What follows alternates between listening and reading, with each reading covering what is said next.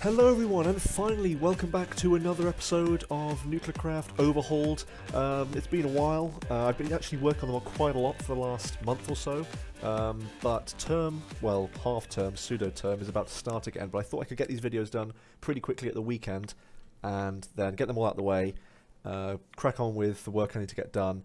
And since I'm home, it means I can actually still work on the mods somewhat, uh, rather than all the other stuff that I'd usually do when I was at university. So hopefully the mod will still be developed slowly over the next two months, uh, but we'll have to see. Um, so as you can see, there's a bunch of reactors over there that have not been sort of built out yet. Um, one of them per video, so there's three reactor videos coming. There's been a lot of new features since this last uh, video that I did on the reactors.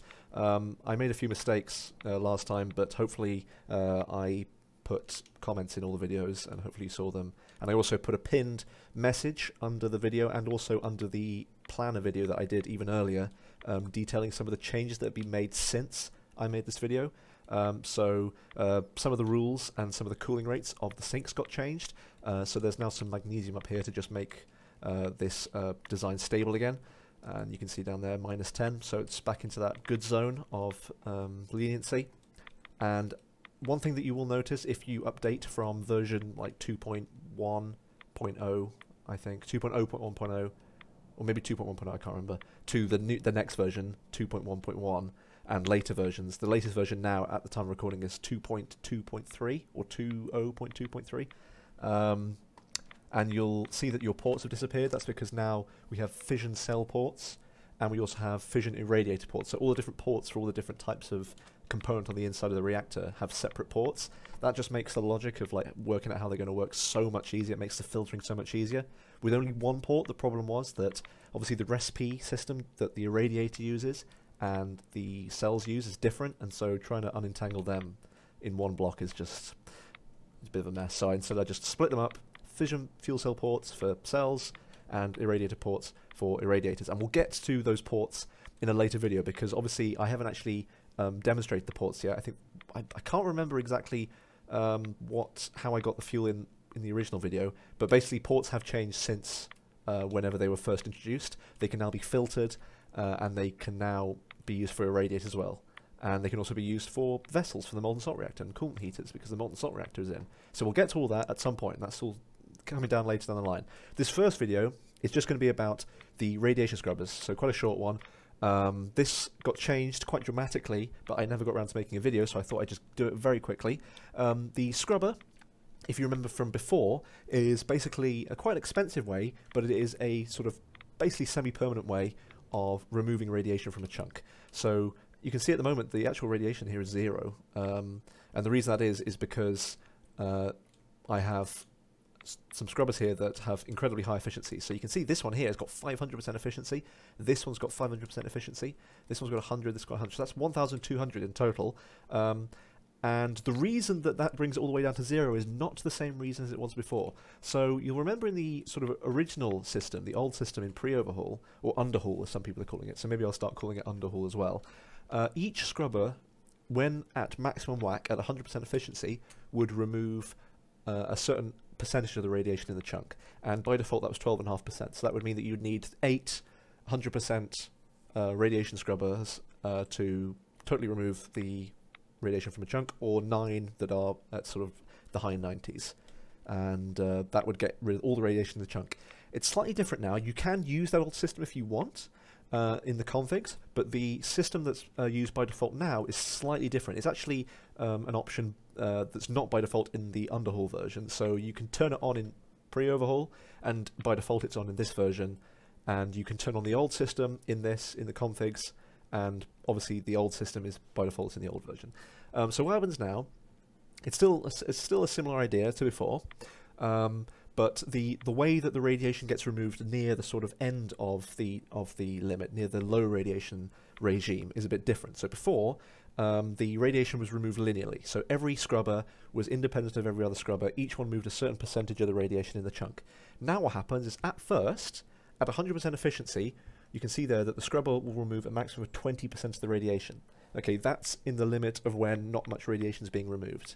Okay, but what happens is that as the collective contribution from all the scrubbers in the chunk stacks, it will stack non-linearly, meaning that after a certain point, the percentages will not just add independently anymore. What will happen is that the radiation level will fall approximately linear at first, but eventually doubly exponentially in the limit of many scrubbers. Now, what that means, uh, for those of you who don't know what that means, is that as the scrubbers start to become more and more effective at removing the radiation, the radiation will drop off uh, more and more quickly, but not exactly get to zero. It won't just be a finite. It won't just be a finite cutoff where eventually all the percentages add off uh, add up to more than 100. What will happen is that those percentages have uh, less and less of a linear effect, and they will quell the radiation more and more and more, double exponential. If you don't know what a double exponential is, go look about go look up uh, the Gaussian distribution or the normal distribution, and just look at the shape of that function, and you'll get an idea of how it sort of drops off very quickly at the edges.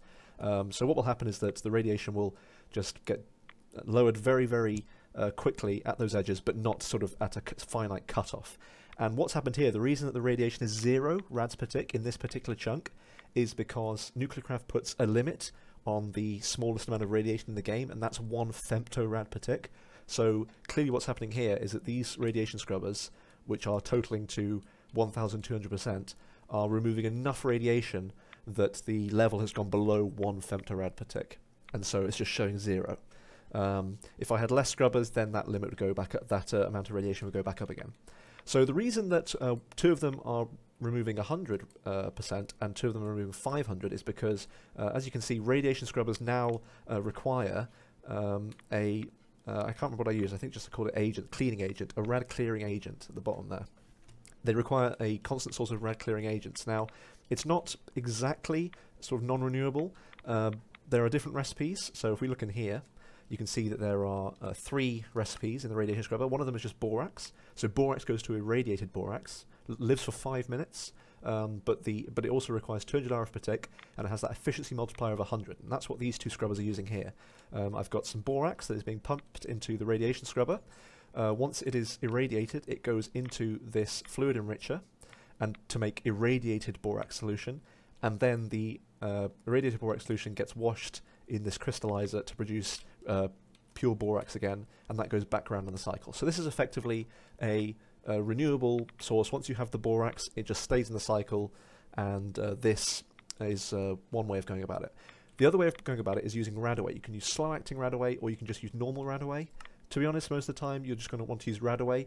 The slow-acting Radaway actually um, removes uh, more rads uh, over the lifetime of its recipe, uh, but actually the Radaway fluid is so much more effective and most of the time you're going to have enough glowing mushrooms to turn this ethanol uh, back into Radaway again. So again, this is sort of renewable loop, but a bit more complex. So this time you pump in Radaway, um, out comes ethanol, and you have a, some source of glowing mushrooms to turn it back into Radaway and pump back in again. And that has an efficiency multiplier of 500%, so that's very effective, uh, but it only lasts for two minutes, the Radaway, in there, rather than five minutes.